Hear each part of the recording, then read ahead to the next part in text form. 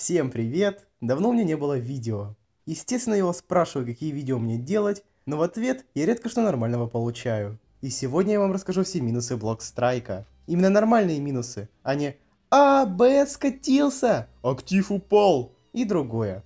А перед началом хочу попросить вас, чтобы вы зашли в мой телеграм-канал, где я делаю посты по Блокстрайку и моей жизни. Ссылка в описании. Ну и теперь мы начинаем.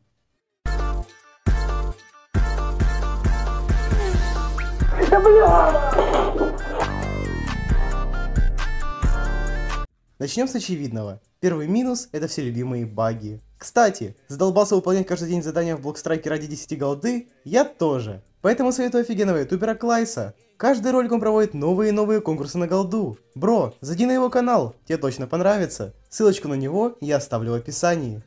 Также запускаю розыгрыш 300 голды. Для участия подпишитесь на меня, мой ТГ-канал и на Клайса. И напишите любой коммент под этим видео. Итоги 26 января. Всем удачи, а мы продолжаем. С каждым обновлением происходит фикс багов, но одновременно с ним разрабы моргают и появляются новые баги, что мы только там не видели. Что-то я мало про баги рассказал, хотя тут нечего рассказывать. Любимые ошибки при входе, вылеты серверов и другое. Едем дальше.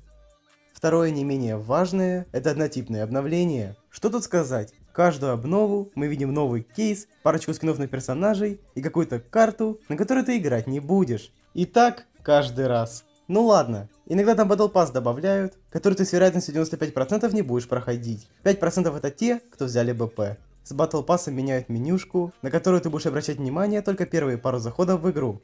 Конечно, не все обновы однотипные, однако разработчики не добавляют того, что сильно меняет игру. Хотя, они любят добавить баги, которые меняют игру хуй знает как. Третье. Это что? Правильно, вы не знаете. А я вот сценарий читаю.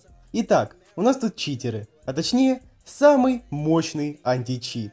Недавно читеры вышли на новый уровень, и уже на серверах на экране ваших телефонов появляются их философские мысли.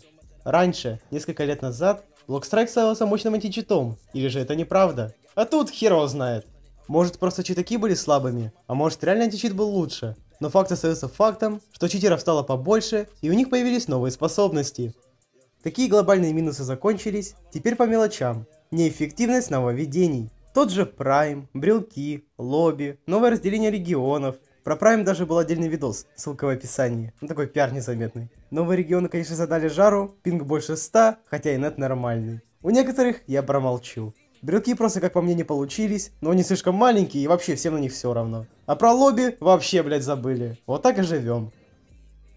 В принципе, это все минусы. Кто-то скажет, «Ы, разрабы не общаются с комьюнити, где стримы?»